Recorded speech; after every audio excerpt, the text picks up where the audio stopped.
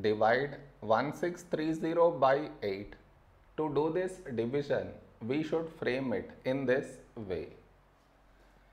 1630 here, 8 here. This is your step 1.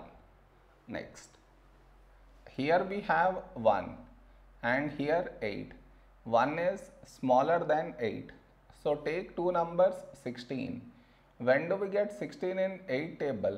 8 to 16.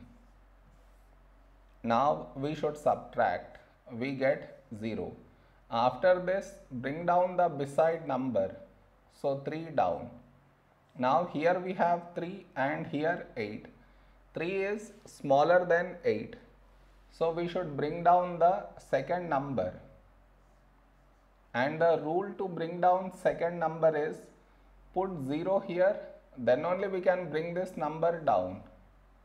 So 30. A number close to 30 in 8 table is 8 3s 24.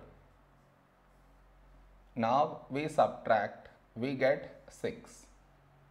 No more numbers to bring it down. So we stop here.